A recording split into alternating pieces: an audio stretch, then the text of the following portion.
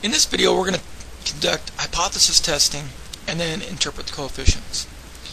Now because we've been able to verify the five assumptions of the linear model, meaning the error term has a mean zero, constant variance, the errors aren't uh, the errors are independent, the errors are normally distributed, and the model is linear, uh, the validity of those five assumptions make the T and F hypothesis test we're about to do valid. Okay.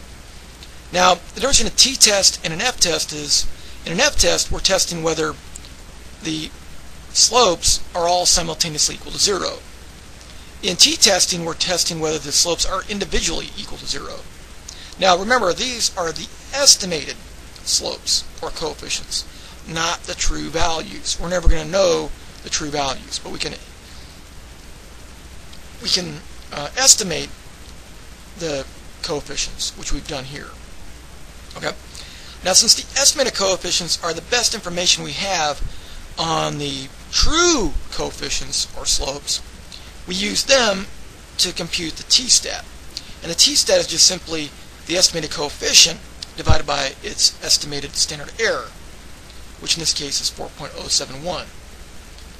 And then in this case down here for x2, the t-stat is the estimated coefficient divided by its standard error to give us negative 3.678.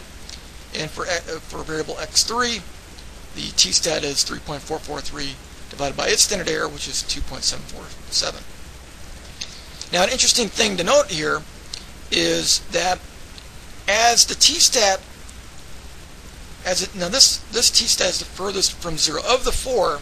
This one is the furthest from zero then x2's t-stat, then x3's t-stat, and finally then the intercept's t-stat. The intercept's t-stat in this case is closest to zero, which means the p-value is furthest from zero. So the closer the t-stat gets to zero, the further p-value is from zero. The, the further the t-stat is from zero, the closer the p-value is to zero. Okay? So what we could say here is that x, of the three variables, x1, x2, and x3, the most significant variable is x1. Okay? Now, if we're using a significance level of 5 or 10%, these three p-values are all less than 5%. So we can conclude that the true coefficients the true coefficients individually are statistically different than zero at the 5% level.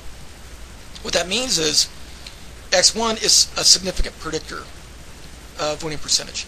x2 is a significant predictor of winning percentage. And x3 is a significant predictor of winning percentage. Now, the f-test is kind of a related test. Instead of testing the coefficients individually, like we did the, like we did with the uh, t-test, we're going to test whether they're simultaneously equal to zero. And because these t-stats are so large collectively, and these p-values are so small collectively, the f statistic is very large, and its p-value is very, very small. Okay? Since its p-value is less than 5%, less than 10%, even less than 1%, we can say the model is significant at the 1%, the 5%, and the 10% levels. Okay, which is exactly what we concluded individually. We concluded that individually the slopes were all non-zero. Okay, so now let's move on to in the interpretation of the coefficients. I'm going to hide that stuff. I'm going to hide this too. If we're an average NBA basketball team, we're going to make 43.5% of our shots and we're going to win 50.2% of our games. Those values are from our descriptive statistics table. Now, if we can shoot one percentage point better we can raise our shooting percentage from 43.5 to 44.5. Now this should raise our winning percentage. How much does it raise it by? To answer that question, we look at the estimated coefficient of x1.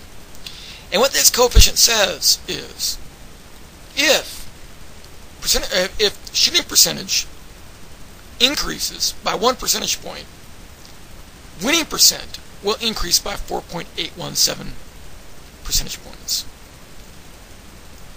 So our winning percentage will rise from the average of 50.2 to 55.0. The way I calculate the 55.0 is I added the average NBA winning percentage to the coefficient. Okay. Okay. Now, if we're an average NBA basketball team, we're going to hold our opponents to 34.1% behind the three-point line.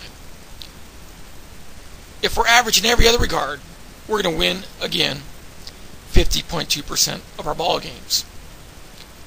Now, if for some reason we start playing slightly below average defense, and as a result, our opponents increased their three point shooting percentage by one percentage point,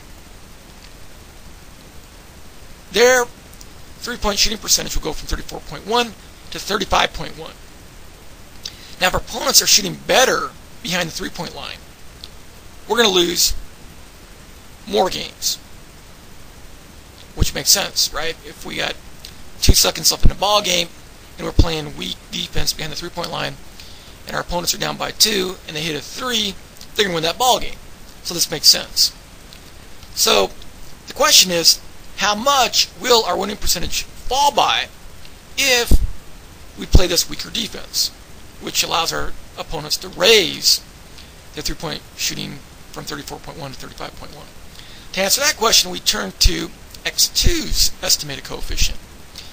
And this number implies that if our opponents shoot one percentage point better behind the three-point line, our winning percentage will drop by 2.589 percentage points.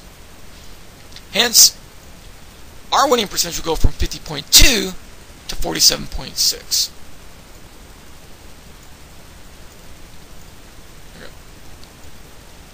Again, if we're an average NBA basketball team in every regard, our opponent's going to turn over the ball 15.2 times a game. If we're average in every regard, again, we're going to win 50.2% of our ball games.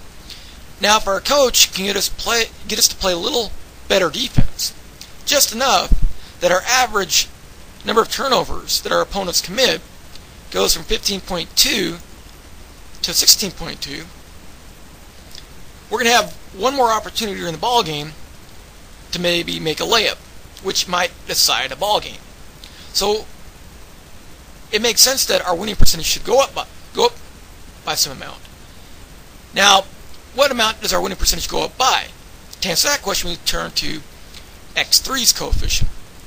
And this number implies that if we can turn the ball over, if we can get our opponents to turn the ball to turn the ball over one more time per game, our winning percentage goes up by 3.443 percentage points.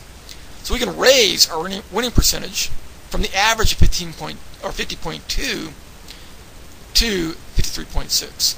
And to compute that number, I subtracted the estimated coefficient from the average winning percentage.